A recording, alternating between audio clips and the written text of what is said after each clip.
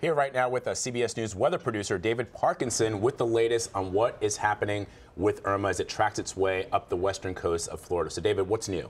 So, uh, the new information that we're getting is we were able to actually backtrack the landfall, compare it to the 5 a.m.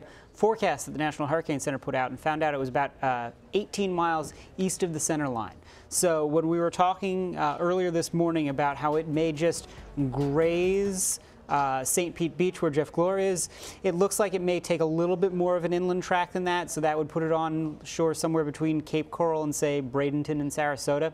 So that's actually good news. And the reason why that's good news is because if it were to stay just offshore, you would be in the eye wall for the longest period of time, whereas if the eye actually passes over you, you do get a bit of a break. So right. it's counterintuitive, but you'd actually almost prefer a direct hit than a, a five mile, 10 mile off graze. If you look at the radar right now, you can see Uh, the eye is pretty much due south of Naples. It's about on par with Miami, uh, and it's going to be continuing to move to the north. You have the track there, so 125 mile an hour winds, 8 p.m. Sunday, and that is going to be uh, somewhere north of Fort Myers, and then we're looking at it passing through Tampa sometime around let's say midnight, 2 a.m. Um, and then it really starts to kind of get on its horse. It could be as far north as Gainesville at 8 a.m., or it could even actually get a little bit faster. Uh, we've got a um, little uh, trough that's going to be pulling it along, so the speed to which it moves to the north is going to be a little bit faster. So that's the good news. The bad news is, is if you look at this radar and you look at how intense these rain bands are, and you see it just streaming in uh, off the ocean, it's the entire, I mean, the entire state of Florida, from the from the Georgia line all the way down you're getting rain and you are getting uh, a potential for tornadoes during the day to day, especially if you're in that front right quadrant of the storm. Um, and so even if you are not getting the, the worst gusts of the storm, you've got to be mindful of the tornadoes and keep yourself weather aware that way as well. The other thing I am looking at is you keep saying the upper right quadrant, and we've started to get some major flooding video um, in Miami and downtown Miami. Is is Irma moving quickly enough now where um, where we'll see less of an effect? Because she was moving at like what six miles an hour, eight miles an hour earlier. Is she speeding up, and is that a good thing? Because just, Miami's getting pummeled right, right. now. Right. I mean, so she's, she's speeding up just a little bit. So she was at seven, then she bumped up to eight, and now she's at nine. So it is making forward progress. We're not in a Harvey type situation. Part of the reason why the, the situation in Miami has gotten so bad is because high tide is about 20 minutes ago. Ah. So um, when we talk about the storm surge and we give you that range of, let's say, four to six feet, it includes the high tide that you've got there. So at Biscayne Bay, when we had a four foot storm surge around 11 a.m., it still had a little bit more to go, but fortunately it should back off a little bit with the tide.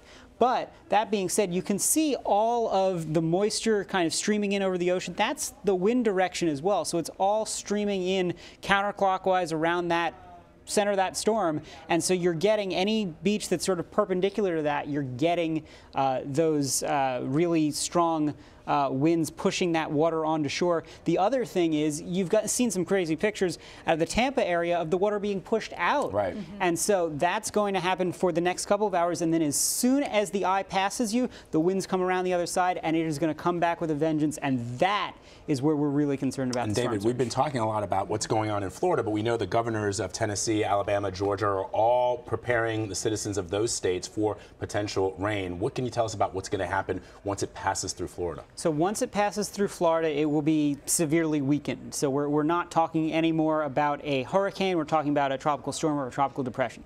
That's the good news. The bad news is it does still keep a lot of its characteristics in terms of moisture and in terms of wind. So there's a chance for tropical storm force uh, winds and in fact gusts almost a hurricane force as far north as Atlanta. That's why they're under that tropical storm watch. Um, we've noted it's the first time ever. It's a new product from the National Weather Service. Right. Um, so it's not to say that Atlanta's never had those kind of gusts before, but it's the first time that alert has come out. That being said, uh, those are some really tall trees that like to snap when you have high winds in southern Georgia, so we're worried about that and some power outages there. That's part of why the governors are, are concerned is because as long as you take down trees and power and, and really start to inconvenience people in that way, uh, you need to, to get ahead of the disaster in that sense. We're not talking about flooding rains of more than, let's say, a foot. Nobody's going to get more than that. The range is probably somewhere in the order of 6 to 10 inches uh, is probably on the high end once you get north of Florida. So there's going to be some isolated spots if you get stuck in a training band uh, in southern Florida. But fortunately, Florida is a little bit better in terms of its, its soil composition at, at um, handling some of those heavy rains. I mean, anytime anyone who spent any time in Florida knows they obviously get their fair share of rain. Uh, but as you go up into the Tennessee River Valley, where you could get more flash flooding um, because of terrain and things like that, fortunately, a lot of the moisture does start to die down by that time. How unusual is it? Obviously, um, Florida is hit by a major hurricane almost every year, and yet to have to see this satellite imagery where it's going right up the peninsula. How unusual is it for the entire state to be experiencing hurricane force winds? Because what we're talking about, even all the people in the shelters, um, which is 127,000 people in 500 shelters in Florida, all of them, to a certain degree, um, are going to be under the force of this storm. There was nowhere to go within the state unless you left and went further north beyond Right. the peninsula. Well, and that's the thing is, is when, when we were talking about this and when we were talking about Harvey, like you don't evacuate rain and you don't evacuate wind because Okay. it's just so expansive that it's hard to get out from under that. Um, so as long as you're in a structure that's capable of it, you just need to hunker down. What we were evacuating for and was really crucial is the storm surge because you can't escape that. Uh, but in terms of the track it took, when you look at Andrew, when you look at Katrina, when you look at all of the big storms that, that South Florida had in, in um, the mid 2000s, they cut across the state, um, or they did some sort of They jo- traversed it. Right. They didn't go up it. Correct. Yeah. So, so Matthew last year almost did this, right? If you Yeah, I remember, the, the lead up to Matthew, it was thought that it was going to just scrape the state from Miami all the way up to uh, Jacksonville. And fortunately, it stayed just enough offshore in the southern part of the state. They didn't get the worst part of the effects. They were on the good side of the storm, they, right? They were on the weak side of the storm. But by the time you got up to Jacksonville and St. Augustine, they had some really bad storm surge flooding. So it's not entirely impossible for that track, but traditionally they do cut across and go into the Gulf or they go out to sea. Right. Um, it's it's rare to have a, a, a, you know parallel I-75 track on these storms. Um, but you know the other thing is it's been a little while. It's been almost a decade since Florida has had to deal with a storm of this magnitude. Um, you know they dealt with Matthew last year, but before that it was it was back in the 2000s. And so um, I have I get the feeling the folks on the western side of the state got a little complacent. They do, I, Well, that was the you know it's funny. Uh, people have been tweeting at me. People who are watching our coverage uh, are essentially saying, "Look, for days and days and days, news reports out there were that the storm was going to track east." Now, that's that doesn't mean that when we had you on the air that we didn't talk about the totality of the state. But I think for a lot of people who at the last minute were told, "Listen, you've got to get out," if you're in St. Petersburg or in Tampa or in Fort Myers, they're going, "What changed?" Right. Well, the, the difficulty that we have as weather professionals is communicating uncertainty while getting people to take it seriously. Right. And so, you know, I, I send out an email to staff here at CBS every day, and, and there was a, a note that went out, I think it was Tuesday or Wednesday last week, that was, you know, this is a, a stand down situation on the West Coast, but not an all clear, which is to say, you were supposed to have made your preparations, and then you can kind of leave them be. You don't need to start moving on them, but get ready to. Um, and I get the feeling that people on the West Coast might not have even started those preparations in the way that they did on the East Coast. Part of it is because Miami's dealt with so many more hurricanes. They, Well, they kind of get the that's drill. the other thing. I mean, if we're looking potentially still at a direct hit on Tampa or St. Petersburg, um, are they less prepared? I know Miami's poured hundreds of millions of dollars into upgrading um, their drainage systems, Right. for example, raising certain properties even um, because they're dealing with sea level rise. They're dealing with sunny day flooding. Is Tampa and or, or- Tampa and St. Petersburg, which haven't had a direct hit, and I understand in 100 years, are they as prepared as far as their infrastructure? Right. I mean, their last direct hit was in the 1920s, Yeah. and, and there was some great investigative reporting that, that we did, that the Post did, uh, basically right around when Cindy kind of rolled out farther west in, in the New Orleans area of, hey, are we ready for this? And the answer was pretty much categorically no. Um, you're right. It's been about 90 years. It was the 1920s when the last time they had a direct hit from a hurricane. Um, and so people, I think, tend to get complacent. I mean, the real difference, partly in the wind factor, is after Andrew, they really built up those South Florida building codes. I mean, those homes are strong. Um, you Somebody told me they could withstand 185 mile per hour winds there in Right. South Florida. I mean, as, as soon as Andrew happened, people were like, okay, we need to take this seriously and we need to have our codes match. Mm-hmm. Um, in the Tampa area, that hasn't happened. So you have some older housing stock that's perhaps not built as well. You have a lot of growth and sprawl that happened in that area. Uh, you're getting into to sort of wetlands and things like that. So not quite in the way that Houston, which is totally unzoned, just, I mean, they just went out sprawl wise. Um, Tampa did build up, and there's a, people don't have that. Uh, collective memory. And so I, I think that people in, in Miami say, okay, we're in the cone, we need to prepare. I think people in Tampa are like, we're not at the center line, so we're good.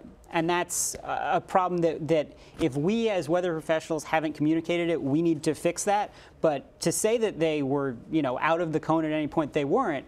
Uh, they just weren't the central focus. But that's why we've got to preach. If you're in that cone, you need to be prepared because it can go there. David, let's talk about uh, before we let you go. We've got that banner up there. Storm surge could kill you. Those are the words of Florida Governor Rick Scott. Explain to our viewers what storm surge is, because I think people understand wind, they understand rain, they understand flooding. Sometimes it's difficult to know. Perhaps people in Florida and Miami know what that is, but for those of us uh, or other people who are watching this who are across the United States, they may not know exactly what that means. Right. So the, the difficulty I think that, that the human imagination has is when we start talking about these big numbers, right? Nobody knew what four feet of rain looked like. People don't realize what 10 to 15 feet of water looks like. But to, to explain storm surge, a lot of people think of it sort of like a tsunami, like a big wave is just going to, wash. no. So the tsunamis are essentially a big wave that that's where you build up your, your height. In the case of storm surge, it's a raise in the level of the water. So essentially now you're overtopping the breakwater, and then as you do that, it gets higher and higher and higher. And then, so we talk about that 10 to 15 foot in Sanibel Island and, and, and um, the Naples area that doesn't include waves on top of that, right? So, so essentially, that's the, the rise in water height. So that a 10 to 15 foot surge would put you to the top of a first floor, middle of a second floor of a home. And so, I mean, it, it, was hard for people to understand it in Sandy here in the New York area when they're like, oh, how, I mean, does that come in 10 feet from the, the right, water? Right. No, it, it, it literally elevates it. So if your elevation is lower than 10 feet from where sea level is, you've got a big problem. And I understand large parts of the coast on the Gulf is under 10 feet as far as right. sea level rise. You've got you've got three, you've got four, you've got six as your elevations. You know, we were talking with with Jeff and like where do we put your satellite truck to keep it safe? And you know they're out on a barrier island. There's no high point. I mean, same thing with Marco Island. There's there's a lot of um, places on the Gulf Coast where the Gulf is really shallow, so the the water really comes up. There you go. There's your map of, of potential storm surge flooding. And the reason why that Naples area is colored in red the way that it is is because the water is coming in off of a very shallow gulf. It doesn't take a lot to get that to surge. There's also the bay right. on that side, right? So I mean, our reporter there in Naples was saying you, storm surge doesn't just affect the ocean side and the Gulf side. It's going to affect any river. It's going to affect any inlet, and it, it rises all the water, right? Right. So, so when we were talking about things switching and, and flooding back in, that doesn't take into account places like Fort Myers that has the Caloosahatchee River, that mm-hmm. water is getting pushed down and creating all this back bay flooding. Um, it's getting pushed out much much in the way that if you're in Tampa and spots where you see the water receding and it looks sort of kind of cool, like, oh, it's a super low tide, all of that water is being pushed out in the back bays as well. So it's got nowhere to go if it's running straight into land. Um, so that's your first stage of uh, storm surge flooding. Then on the other side of that, then you have storm surge flooding coming in from the Gulf, and that might be the higher number, but people have to worry about back bay flooding uh, all, all, over the place in New Jersey. Yeah, I mean this Florida. happened during this Superstorm Sandy. Right, Some of happens. the worst damage was the back bay right. facing right. places. Now, Rick Scott himself has a property in Naples, and he said something to the effect yesterday that if you've got a one-story home with storm surge, this is what he said yesterday, you could see your entire home covered. Is that where we're still at as far as storm surge prediction right now? It is, yeah. Okay. I mean, that, that's uh, at the 10 to 15 foot range. Um, you are looking at covering a one-story building, and, and there are a lot of one-story buildings there. Sure. There are a lot of buildings without basements, which is a problem for wind, and there's a lot of buildings that are one-story, which is a problem for flooding. Um, you know, if, if, you're in a, a a building that's got five or six stories, I mean, look, you can just do a, what was called a vertical evacuation. You can get yourself above the water Go level. higher, yeah. Um, if you've got a one-story building or a one-story building plus an attic, right? We saw that problem during Harvey. Um, that's not a safe place to be because at a certain point you're ending up on your roof Well, they're saying You know. um, somebody told uh, told us the other day that you should have an axe. If you're Right. going to your Yeah. attic, have an axe and be able to burst through your roof because we remember with Hurricane Katrina how devastating it was to see residents stranded on the roofs of sometimes more than one story um, residences, and they were waiting on the roofs there for rescue. Well, and, and that's the other thing is, is that in Harvey, they were able to get to people somewhat quickly, right. Right. Because the winds, I mean, you can't go get somebody when the winds are at 70 miles an hour. Right. I mean, you know, if you're up on the river, uh, on the roof, you're stuck there until it's safe for rescuers to get out. And that's why, you know, as many people as I've talked to and tried to convince to get out, it's that simple is is when things go wrong, you're now putting other people's lives in danger, and at a certain point, they're not going to be willing to take that risk, and you're going to be stuck there. Right. And uh, there's no reason, if you are in, in a mandatory evacuation zone, to think that uh, there is any inconvenience caused by any cost. You know, what price do you put on your life and your personal safety? How That's quickly exactly can right. storm surge rise? Like, how quickly can the waters rise? I mean, it can rise very quickly. It can be in the span of an hour or two. It can come up. I mean, es- essentially, by the time you see it rising, it's too late to get out. Um, and, and a lot of people who do try to get out at that point, that's where they run into real problems because their cars get floated in under three feet of water. CBS News producer David Parkinson, always with the advice and the interesting information that I think is very difficult sometimes for people to understand because there's a lot of science. I mean, what we're always showing our, uh, on our air are reporters describing what they're seeing, what they're feeling in the moment of the hurricane's arrival, but the science and the and the understanding of actually what goes into creating these tremendous forces is is really important to understand, and you do it so well, my friend. Thank you very much. Thanks, bud. David.